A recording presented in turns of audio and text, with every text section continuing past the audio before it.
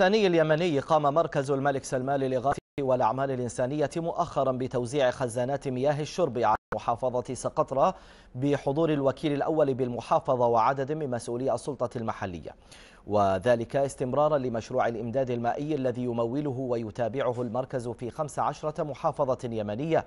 ويستفيد منه أكثر من مليوني شخص من خلال الشريك المحلي ائتلاف الخير.